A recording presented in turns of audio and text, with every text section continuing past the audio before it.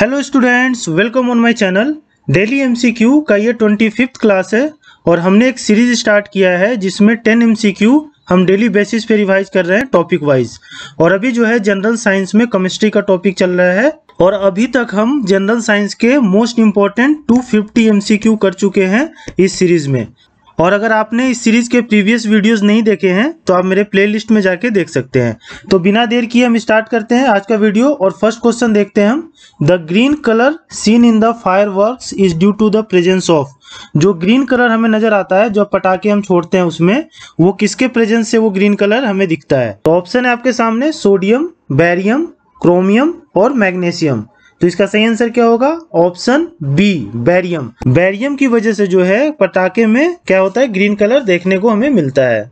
और अगर आपसे क्वेश्चन ये पूछा जाए कि कौन सा एक्सप्लोसिव यूज़ होता है पटाखों में फायर वर्क में तो कौन होता है? पोटासियम नाइट्रेट पोटासियम नाइट्रेट जो है, वो एज ए एक्सप्लोसिव यूज़ होता है पटाखों में, और इसका केमिकल फार्मूला क्या होता है? के होता है, ठीक? और भी मैं कुछ कलर्स बता देता हूँ आपको। सोडियम के प्रेजेंस से कैसा कलर आएगा? तो येल्लो कलर आएगा, ठीक? कॉपर के प्रेजेंस से कैसा कलर आएगा? तो ब्लू आएगा। और कैल्शियम के प्रेजेंस से कैसा कलर आएगा? तो ऑरेंज आएगा। तो ये तीनों भी आप ध्यान रखिएगा, इससे भी क्वेश्चन पूछा जा सकता है। सेकेंड क्वेश्चन हम देखते हैं। In the atmosphere ultraviolet rays are absorb by atmosphere में अल्ट्रा वायलेट रेज जो है, जो कहाँ से आता है? सन से आता है। वो किसके द्वारा एब्जॉर्ब किया जाता है? तो ऑप्शन है आपके सामने ऑक्सीजन के द्वारा ओजोन के द्वारा नाइट्रोजन के द्वारा या हीलियम के द्वारा। तो इसका सही आंसर क्या होगा? ऑप्शन बी ओजोन के द्वारा। ओजोन के द्वारा जो है वो क्या होता है अल्ट्रा वायलेट रेज जो सन से आता है, उसको ऑब्ज़र्व कर लिया जाता है। और ओजोन का जो केमिकल फॉर्मूला क्या होता है ओ थ्री होता है। और ओजोन का जो लेयर है, वो किस पार्ट में पाया जाता है? तो देखिए, पहला क्या होता है लेयर ट्रोपोस्फेयर होता है, उसके बाद स्टेटोस्फेयर होता है। तो स्टेटोस्फेयर में ही क्या होता है ओजोन का लेयर होता है। और ये जो है अल्ट्रा वायलेट रेज जो सन से आता है, उसको क्या करता है, ये एब्जॉर्व कर लेता है। और हिंदी में स्टेटोस्फेयर को क्या कहते हैं? समताप मंडल क्वेश्चन नंबर थर्ड देखते हैं हम. Which of the following polymeric material is use for making bulletproof jacket कौन सा पोलीमेरिक मटेरियल इनमें है जिसका यूज़ जो है बुलेट प्रूफ जैकेट बनाने में किया जाता है? तो ऑप्शन है आपके सामने लाइनोन सिक्स केवलर रेन और डैक्रोन तो इसका सही आंसर क्या होगा? ऑप्शन बी केवलर केवलर जो है ऐसा पोलीमेरिक मटेरियल है जिसका यूज़ बुलेट प्रूफ जैकेट बनाने में किया जाता है. क्वेश्चन नंबर फोर देखते हैं हम. Which of the following is to be found in nail polish remover nail polish जो रिमूवर होता है, उसमें कौन सा चीज़ पाया जाता है? तो ऑप्शन है आपके सामने एसीटोन बेंजीन एसिटिक एसिड और नन ऑफ़ दीज इसका सही आंसर क्या होगा? ऑप्शन ए एसीटोन एसीटोन जो है, वो पाया जाता है नेल पॉलिश रिमूवर में। और अगर एसीटोन की जगह जो है इथाइल एसीटोन ऑप्शन रहे तो ये भी क्या होगा? सही होगा, ठीक ना? इसका भी यूज़ जो है, वो नेल पॉलिश रिमूवर में किया जाता है। और इथाइल एसिटोनोन को क्या कहा जाता है? आइसोप्रोपाइल अल्कोहल भी इसे कहा जाता है। तो ऑप्शन में जो है, या तो एसीटोन रह सकता है, या एथाइल एसीटोन रह सकता है, या आइसोप्रोपाइल अल्कोहल रह सकता है।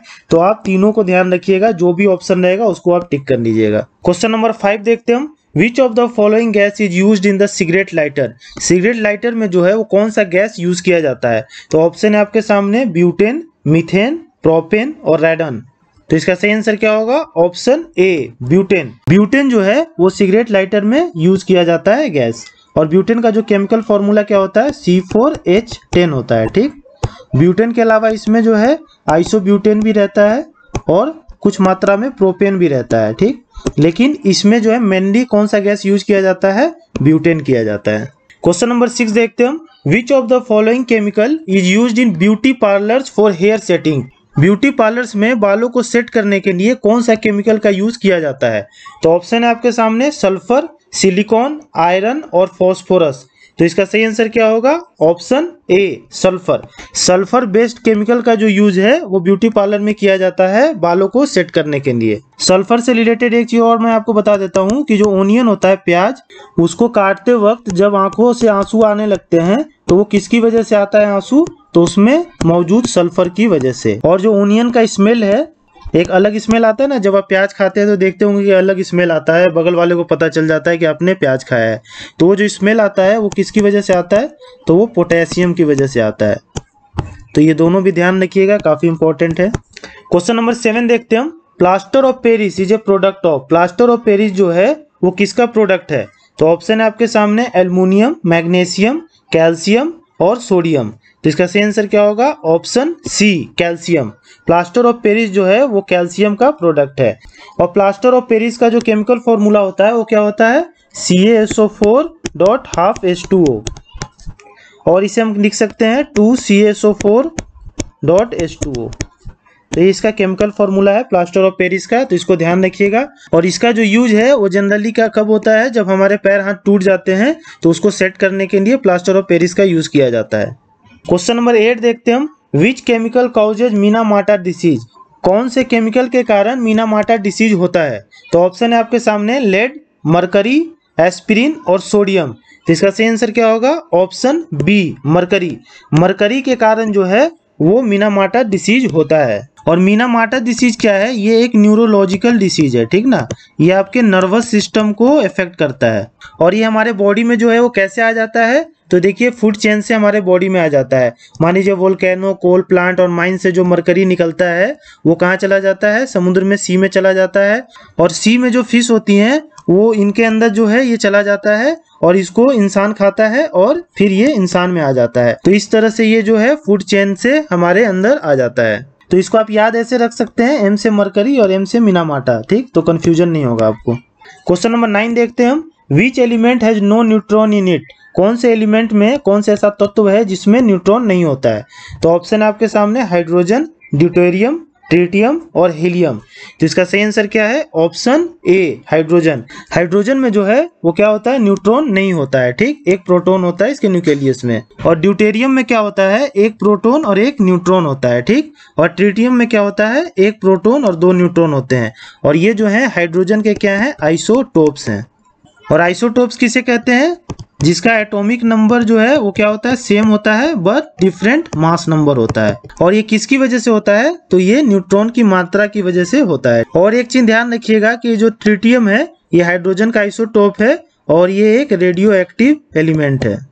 क्वेश्चन नंबर टेन देखते हैं हम। व्हाट इज़ आइसोटोन आइसोटोन किसे कहते हैं हम? तो ऑप्शन है आपके सामने। Atoms having an equal number of neutron ऐसे एटम जिसका न्यूट्रॉन जो है इक्वल होता है, या ऐसे एटम जिसका इलेक्ट्रॉन इक्वल होता है।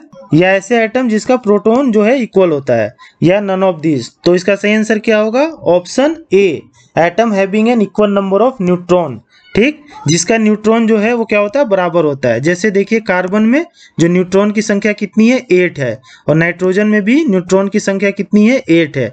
तो ये कार्बन और नाइट्रोजन क्या है? दे आर आइसोटोन्स ऑक्सीजन में भी जो न्यूट्रॉन की संख्या वो कितनी होती है? एट होती है। तो कार्बन नाइट्रोजन और ऑक्सीजन ये तीनों क्या है? आइसोटोन्स हैं। तो होप आपके सारे क्वेश्चंस क्लियर हो गए होंगे। सो मिलते हैं नेक्स्ट वीडियो में 10 नए एमसीक्यू के साथ। और अगर आपको ये सीरीज़ पसंद आ रही है तो please like share and subscribe to my channel thank you